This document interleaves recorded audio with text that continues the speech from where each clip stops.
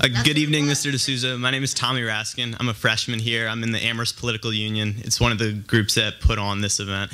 Uh, we want to thank you again for coming out.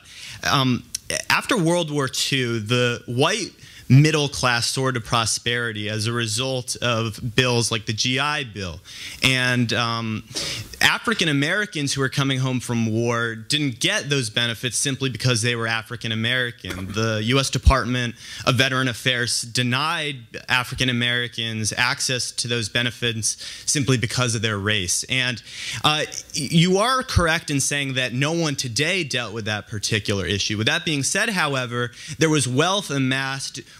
um, as a result of those programs that still exists today. And when I think of your example about an individual who works as a janitor and sees people dining in a beautiful cafe walking home from work, I, I want to ask you do you think any of that indignation, given certain circumstances, might actually be justified simply because there have been systematic blocks in people's way throughout American history, not ending with slavery, not ending with the Jim Crow laws?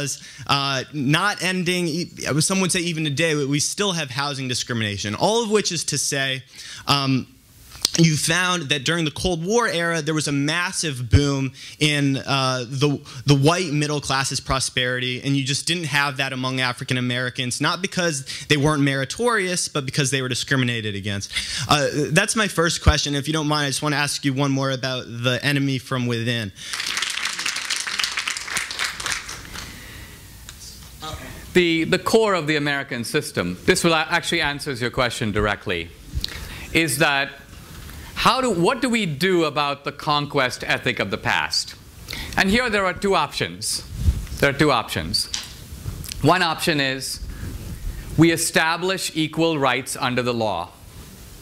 That was the solution of the civil rights movement, that we have had race-based discrimination, we've had racial hierarchy.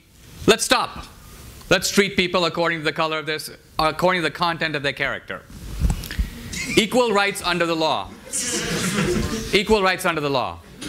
The other option, which you're defending, is you could essentially call it let's correct for history.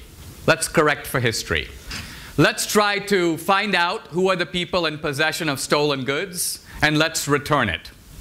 Now, the first thing I'm trying to say is this is a hugely controversial principle because it actually involves wrecking the freedom of a free society. You basically have to, to put it frankly, if we were to carry that out, go into people's homes and take their stuff. Take their furniture, take their cars.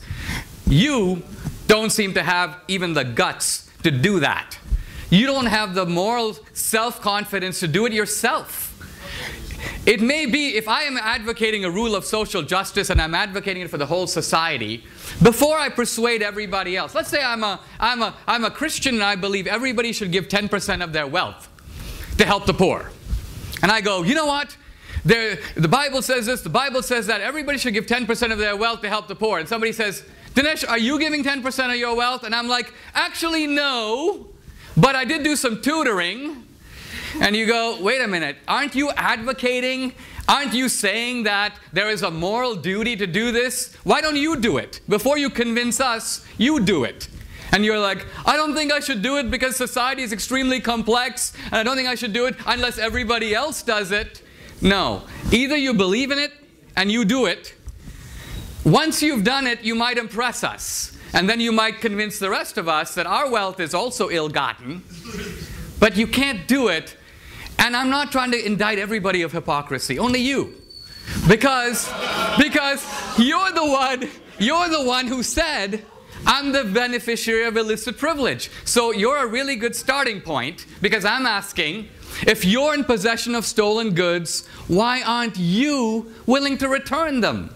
So that's why fundamentally I see your charity. You know, during the Civil War, there was a guy who goes, I'm very happy to give I've given three cousins to the war and I'm ready to sacrifice my wife's brother. That's basically your ethics. You're willing to have social justice if other people pay, but you're not willing to pay. So that's the problem. And that's the problem with the progressivism that marches behind social justice while protecting its own privileges. You know how you said, we all have to survive. Really? You have to be at Amherst to survive? You don't have to be at Amherst to survive. You have to be at Amherst to benefit.